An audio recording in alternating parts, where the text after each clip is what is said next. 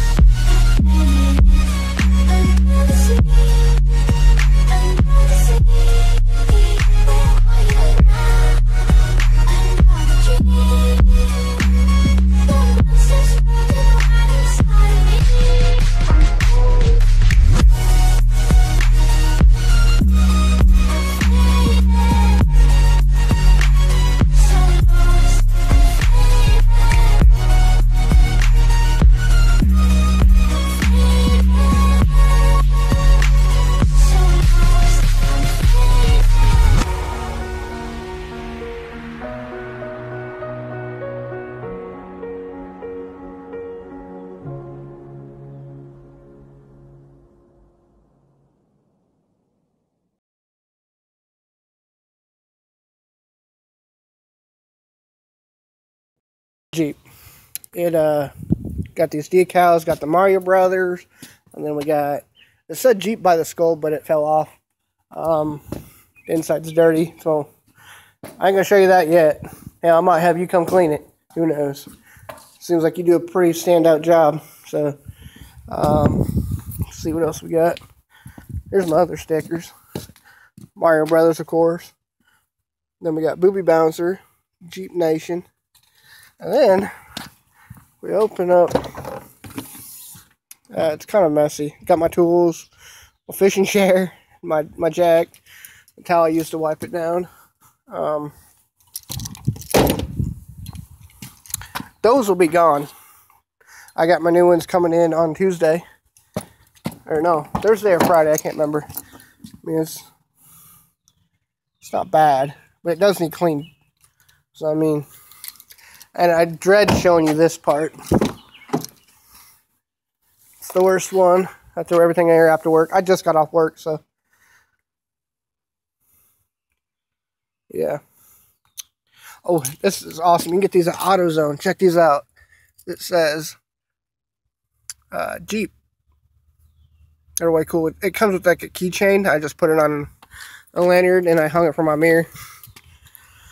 Uh, see what else we got. Um, we're at a minute 30 right now. I don't know if that's all going to go through or not. Hopefully it does. Hopefully. That's the plan. Gonna pop the hood. Show you I got a, a V12 in this thing. I'm just kidding. It's a 4.0. It's dirty.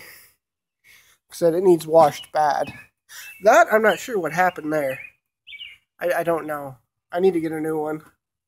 But now you see my Jeep and I'm burning the hell out of my hand right now. Ow. All right.